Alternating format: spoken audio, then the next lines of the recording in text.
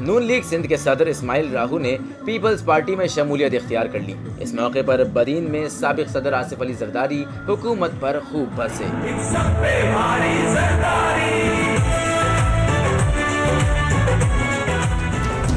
साहब चाहता है कि ना हम अपनी हाइडल बिजली बना सके ना हम अपने हवा पे बिजली बना सके और ना ही हमारी गैस हमारे पास हो। मियाँ साहब, अब तो जजों ने कह दिया है, अब जिसे कहते हैं कि अब आपको जाना पड़ेगा।